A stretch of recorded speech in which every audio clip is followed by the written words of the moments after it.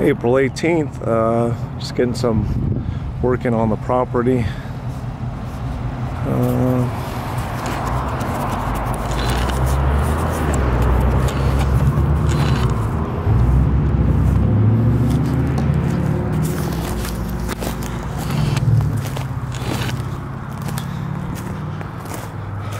I just got the last tree today on the 18th uh, fell. I got electric chainsaw. Uh, here's some of the metal I found hidden inside the blackberry bushes that I've cut so far. And I got like a chassis or something over here. I don't know if it's like a, a boiler or uh, I don't know. But pretty much this is what I got left. Said I got the last tree, found a tire. a lot of work but just a little bit more over there and probably about 20 feet this way uh,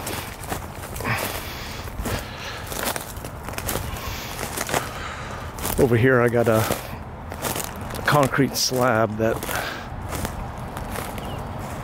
I'm almost to at this particular point but it's coming along I mean this is a good uh, probably two weeks worth of work. Uh, took a little bit of a vacation and uh, well actually it wasn't vacation, it was a business trip, but went and picked up uh, some palm trees that I don't grow really well up here. But yeah, it's taking shape. I mean, it's the main thing. I mean, clear it up. Uh, probably the rest of this week, work the main job, and then spend a couple hours probably eating the rest of this over here. And once I get this in here, I'll get a boundary survey. Then once I find out uh, exactly where the property lines are and aren't, then uh, I can figure out how I want to put the fence in and uh, get it secured and then fully clear it. And and next week, uh, hopefully by this next weekend, I can start in on uh, building a driveway here. I'm going to make a little bit of a pad right there where the truck is um, well, here, I'll show you. Uh, some big semi or a, a dually wheel uh, truck, dual axle, or four tires on the back. Uh, I drove over the dirt kind of show you how soft it is because it's been the low point for so long.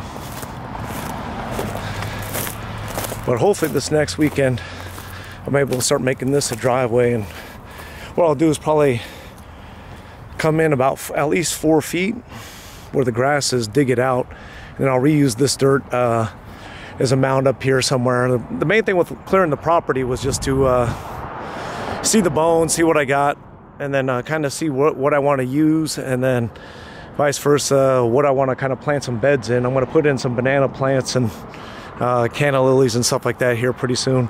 Once I dig this driveway, and I'll move that dirt into a mound. I got a bunch of cardboard. And, I'll smother out this uh, blackberry bush roots and weeds and stuff in the beds that I do put in.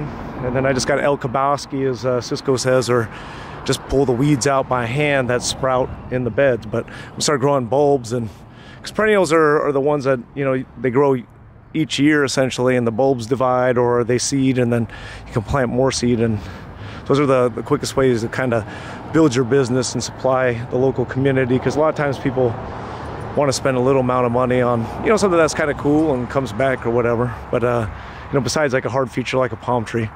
But uh yeah it's it's getting there i mean. Still got a few more weeks of polishing and like i said boundary survey and once that? I mean there's some rocks in here. I'll probably clear this out right here and uh, move these rocks onto this this gravel right here so nobody drives up kind of like this or whatever. But like i said uh one step at a time.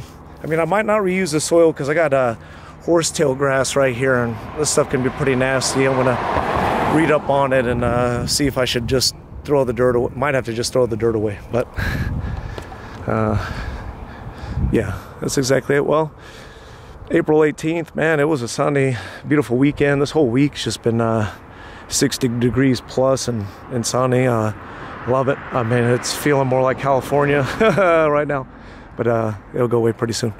But uh, yeah, take it easy. I'll, I'll show this in the next couple weeks as I get the driveway built and then more of this cleared and Uh, let's see when the fence maybe even gets in. So, all right, everybody, take it easy. Enjoy your day. Put your energies into your what do you love to do? I guess your family, your your work, uh, your crafts, uh, just life in general. All right, man. Take it easy, y'all. All right. Bye.